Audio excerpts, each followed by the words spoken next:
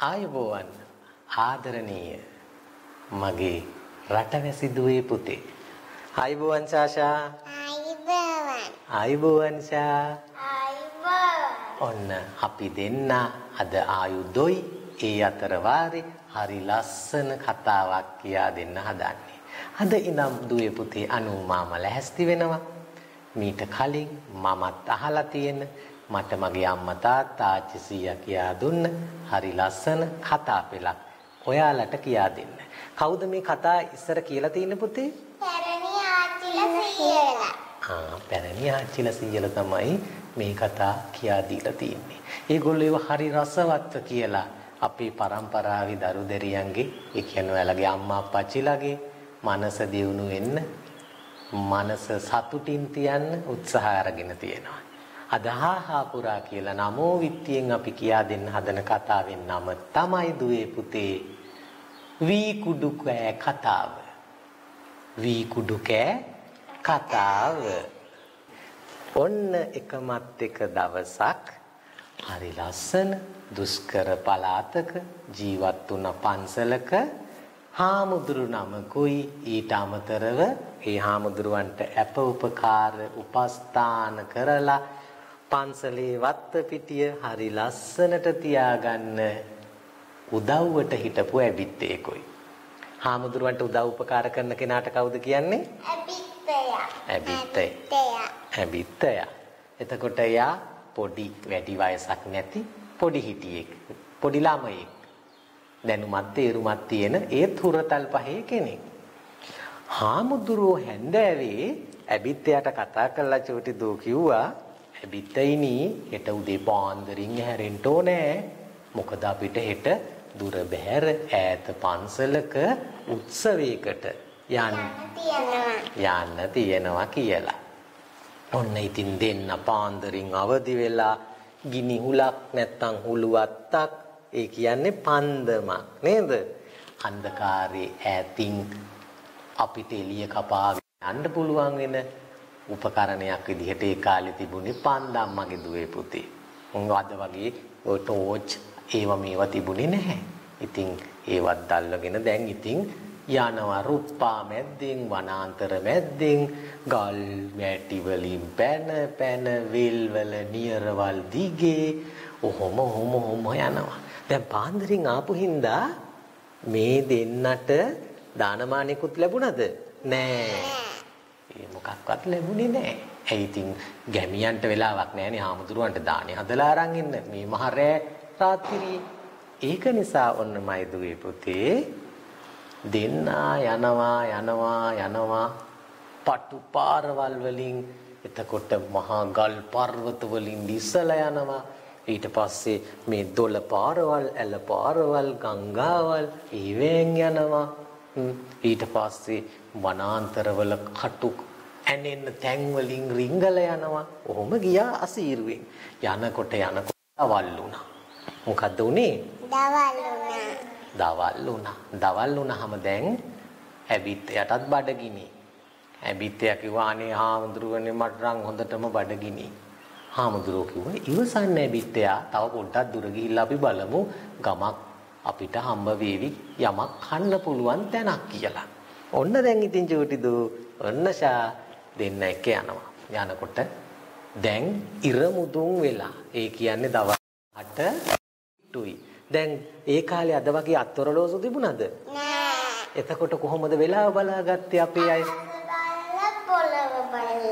අහස බලලා පොළොව බලලා. දෙයියනි කොහොමද අහස බලලා පොළොව බලලා වෙලාව බලාගන්නේ? අහස බැලුවහම ඉර ඔළුවට කෙලින්නම් ඔන්න ඒ වෙලාවට අපිට කියන්න පුළුවන් දැන් 12ට ළඟයි කියලා දවල් නේද? ඊට අමතරව මෙන්න මේ ශාසට වගේ ඈනුම් යනවා නම් එහෙම අන්න බඩගිනි වෙනකොට දැන් දවල් 12ට ගිටුයි කියලාත් කියන්න පුළුවන්. ඊට අමතරව හෙවණැල්ල හේමාලය කියලාත් කියනවා. අපේ හෙවණැල්ල අපිටම පෑගෙනවා නම් ඒත් ඔන්න දවල් 12ට ළඟයි. කොහොම හරි ඔන්න චූටි දූ දැන් ඉතින් දවල් දානෙට කිට්ටුයි. මොකෝ ඉරාවරට යන්න කලින්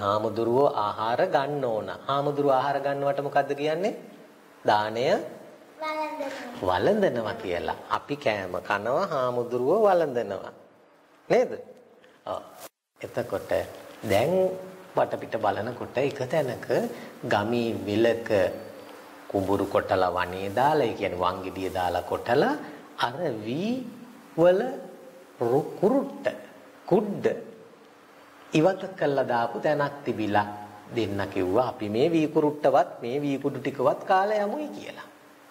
දැන් ඉතින් ඔන්න හාමුදුරුවෝයි ඇබිත්තයයි දෙන්න එක අර වී වල තියෙන කුරුට්ට නැත්තම් ගුණාත්මක බවින් වැඩිම දේවල් තියෙන ටිකක් කෑවා. ඒවා පොඩ්ඩක් කෑවත් ඇතිනේ මගේ පුතේ. දැන් අපේ ගෙවල් වලට ගේන කැකුළු හාල් වල වී කුරුට්ට අයින් කරලා අරන් එන්නේ. එතකොට හාල් ඇටේ තියෙන ඒ කුරුටු ගතිය නැති වුනහම ගුණේ අඩු වෙලා එන්නේ. නමුත් ඒ කාලේ මොකක් හරි දෙයකට බැහැර කරාට ගොඩක් අය ඒ ආහාරවලට ඒවා එකතු කරලා තමයි වණී කොටලා තියාගත්තේ. ඔන්න ඉතින් දුවේ පුතේ දැන් ටිකක් දුර ඔහොම ඇවිදගෙන ඇවිදගෙන යනකොට එක පාරටම ඇබිත්තයා දැක්කා වෙස්මෝනු විකුණන වෙලෙන්දෙක් යනවා. දැන් වෙස්මෝනු වෙලෙන්ද දැකපු වෙලාව ඉඳන් ඇබිත්තයාගෙන් හාමුදුරුවන්ට හරිම කරදරේ. අනේ හාමුදුරුවනේ අර වෙස්මෝන අරන් දෙන්න මට අර වෙස්මෝන අරන් දෙන්න කියලා. හාමුදුරුවෝ මේක කරදරයක් විදිහට සැලකුවේ. බලන්නකෝ ඇබිත්තයෝ දැන් අපි මේ දුර බැහැර ගමනක් යන්නේ අමාරුවෙන් යන්නේ. කොච්චර දුර යන්න ඕනද? ඒ මදිවට වෙස්මෝනු තුස්සන් කොහොමද යන්නේ? කියලා අහන්න ගත්තා. ආමුදුරුවන්ට දැන් බැරිම තැන ඇබිත්තයා කිව්වා ආමුදුරුව මට වෙස් මූණ අරන්න දුන්නොත් එහෙම මම ගමේ ගිහිල්ලා මිනිසුන්ට කියනවා අපි දවල්ට වී කුඩු කෑවයි කියලා. ආන්න වී කුරුට්ට කාපු කතාව කියනවායි කියපු ගමන් ලැජ්ජාවටපත් වෙලා ආමුදුරුව අරන් දුන්න මොකද්ද? වෙස් මූණ. වෙස් මූණ අරන් දුන්නා. දැන් ඉතින් දුවේ පුතේ තව ටිකක් දුර යනවා. වෙස්මූණේ හැඩ බල බල ඇබිත්තය දැන් ගමන ගිමන නිවාගෙන යනවා. යනකොට මෙන්න බෙර දවුල් විකුණන මිනිස්සෙක් යනවා. කවුද යන්නේ? බෙර බෙර දවුල් විකුණන මිනිස්සෙක්. හාමුදුරුවන්ට ලං වෙලා මෙන්න කියනවා එකපාරටම චූටි දූ අර මේ මේ ඇබිත්තය හාමුදුරුවනේ මට අර බෙරයක් අර දවුලක් මට අරන් ඕන කියලා කිව්වා. හාමුදුරුවන්ට දැන් කේන්තිත් ගියා. දැන් එකපාරක් අරන් දුන්නා මේකක්. දැන් කියනවා තව එකක් ඕනයි කියලා. මොකද්ද අප්පා මේකේ තේරුම කියලා කෑකෝ ගහන්න පටන් ගත්තා. ඊට පස්සේ ඉතින් හාමුදුරුවන්ට ලං වෙලා ආපහු ඇබිත්තයා කිව්වේ නැතේ. හාමුදුරුවනේ ඔබ වහන්සේ දවල්ට වී කුඩු වළඳපු කතාව මම කියනවා කියලා අර කුරුට්ට කාපු කතාව මතක් කළා. හොඳද පුතේ? ඔන්න හාමුදුරුව ඒ පාර දවුලකුත් අරන් දුන්නා. දැන් ඔන්න හිමින් සැරේ හිමින් සැරේ දැන් අර ගමෙන් ගමට ගිහිල්ලා රෑ රාත්‍රිය බෝ වෙන්න ගත්තා. රෑ වුණාද දැන්?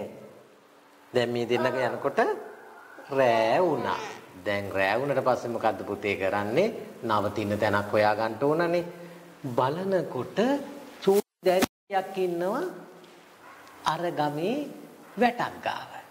ගිහිල්ලා ඒ දැරිවිට කතා කරා ආමුදුරුවෝ අනේ දරුවෝ අපි මේ දුර බැහැර පන්සලකට යන ගමන් අපිට අද රෑ නවතින්න ඕනේ. අර දැරිවි.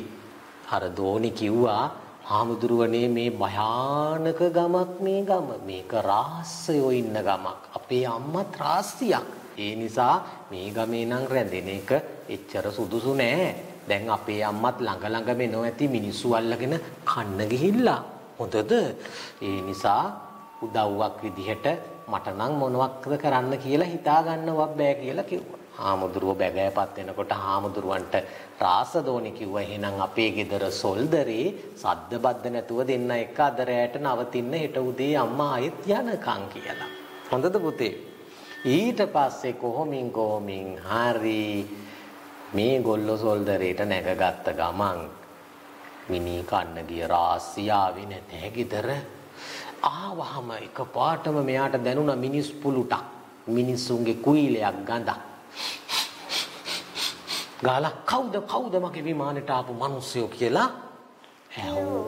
කිව්වා රාසදෝනිගෙන් ඇහුවා. ඒ පාර රාසදෝනි කිව්වා මෙහෙට ආපු කවුරුවත් කෙනෙක් නැහැ. අම්මා මේ මිනි මස් කාලා ඇවිල්ලා අම්මගේ මිනි මස් ගඳම තමයි මේ දැනෙන්නේ කියලා. කොහොම හරි දැන් රෑ බෝ වුණමයි දුවේ පුතේ. දැන් සොල්දරේ කවුද නිදාගෙන ඉන්නේ? ඇවිත්තයයි හාමුදුරුවෝ. අන්න හරි. ඇබිත්තේයි හාමුදුරුවෝයි නිදි. පල්ලෙහා නිදාගෙන ඉන්නවා රාසී එයාගේ දුවයි. දැන් ඔන්න රෑ හිමින් සැරේ කනට කළා හාමුදුරුවන්ට ඇබිත්තයා කියනවා හාමුදුරුවනේ හාමුදුරුවනේ මට හොඳටම චූබරයි. හොඳටම චූබරයි කිව්වා. දැන් ඉතින් මොකද කරන්නේ? හාමුදුරුවෝ ඉවසන් ඉන්න. ඇබිත්තයා ඉවසන් ඉන්න. අනේ හාමුදුරුවනේ ඉවසන්න නම් බෑ තව දුරටත් කියලා දැන් අර ඇබිත් එයා කිව්වා. දැන් මොකද කරන්නේ පුතේ? දැන් ඉතින් ඔන්න හාමුදුරුවෝ කිව්වා එහෙනම් සද්ද බද්ද නැති වෙන්න ඔය අයිනකින් හිමින් සැරේ සුළුදිය පහ කරන්න කියලා. හොඳද? එතකොට අර පිට්ටයා ගිහිල්ලා කපොල්ලක් තිබුණා. අන්නේ කපොල්ල ගාවින් බැලුවා පහළ බලනකොට රාසි කට ඇරගෙන කගා නීදි හොඳටම නීදි හොඳටම නීදි අර කපොල්ලෙන් චූ කරා මේ ඇබිත්තයා කාගේ කොහාටද වැටුනේ දැන්. රාසිගේ කටට රාසි අවදි වෙලා කවුද මගේ කටට සුළු දිය පහ කරේ කියලා කෑමොර දීලා මගේ භවනට ආවේ කවුද කියලා එක දෙක කරලා දැන් කෑ ගහනවා. රාස්ස දෝනි ළඟට ඇවිල්ලා කිව්වා අම්මේ අම්මේ කලබල වෙන්න එපා. කවුරුත් නෑ මේ උඩ. මීයෝ උඩ සොල්දරේ කපලා ඒකට පිළියම් කරන්න මම ලබු කැටේට වතුර අරන් ගියා. මීයෝ දඟලලා ඒ ලබු කැටේ පෙරලිලා තමයි අම්මේ කටට වතුර වැටුනේ කියලා. රාසිත් දැන් මේ කතාව අහලා චූටි දූ ආයෙත් සැරයක් නිදාගත්තා. හොඳද? දැන් ඔන්න නිදි. දැන් රාසිත් නිදි. රාසදෝනිත් නිදි. ඇබිත් අවදි වෙලා ආයි කියන්න ගත්තේ නැතේ හාමුදුරුවන්ට. අනේ හාමුදුරුවනේ අනේ හාමුදුරුවනේ මට පොඩ්ඩක් ඔය දවුල ගහන්න දෙන්නකෝ මං හරීම ආසයි ඒකට කියලා. ඔන්න ෂා හාමුදුරුවෝ කිව්වා අනේ එකපාරක් දැන් මේ මුත්‍රා කරලා මෙතන ඇති කරපු ප්‍රශ්නේ මදැයි ඇවිත්තයෝ අපි දෙන්නව රාස්ති අල්ලගෙන කාවි. රද්දනම් කරන්න එපා. හෙට උදේ ඕන තැනක ගිහිල්ලා දවුල ඕන පදම් ගහගන්නේ කියලා. මෝන මේ ඇවිත්තයා කොච්චර කිව්වත් ඇහුවේ නෑ. අන්තිමේ හාමුදුරුවෝ පොඩ්ඩක් ගහන්න කියලා දුන්නා.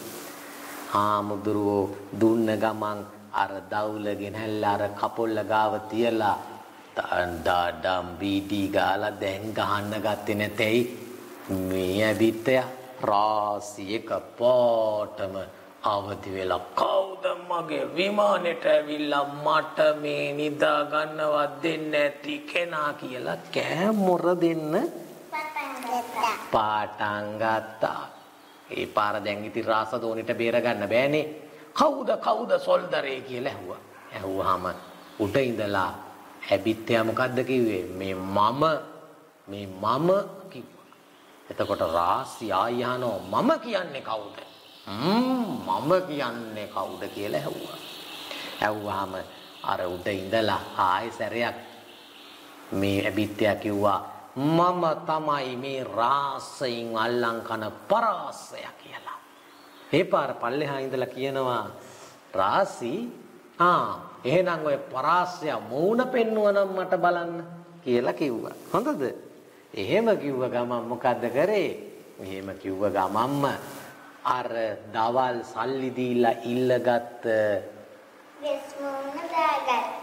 අන්න හරි වෙස් මූණ දාගත්තා. ඒ වෙස් මූණ ඔළුවේ දාගෙන අර කපොල්ලෙන් පහළ බිල බැලුවා විතරයි රාසිට තරු පෙනුණා. රාසි චූටි දූ කැලේ කඩාගෙන ගෙවල් වල අර දොරවල් දෙපාලු කරගෙන පෑනලා දිව්වා මාව කන්න පරාසෙක් ඇවිල්ලා කියලා. ඔන්න කොමින් හරි හාමුදුරුවෝයි ඇබිත්තේයි හෙමින් සැරේ පහලට බැහැලා රාසදෝනියෙන්දට ස්තුති කරලා ඒ ගමෙන් පිට වෙලා යන්න ගියා. දැන් බලන්න අර අහම්බෙන් හරි ඉල්ලගත්ත වදෙන් පොරෙන් හරි අරගත්ත සෙල්ලම් බඩු හින්දා වගේම ඇබිත්තයාගේ තැනට සුදුසු නුවණ හින්දා ඒකට අපි කියනවා චෝටි දුවේ පුතේ ස්ථානෝචිත ප්‍රඥාව කියලා.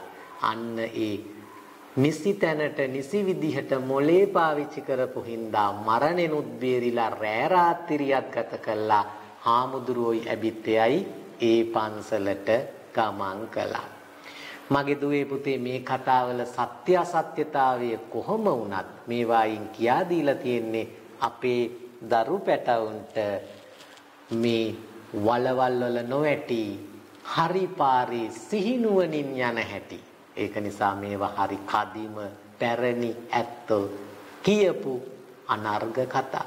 අනුමාමා ඔන්න තව කතා ගොතන විතරක් නෙමෙයි තමන් අහගෙන හිටපු කතා රසවත් කරලත් ආයෙ ආයෙ කියා දෙන්න ලෑස්ති.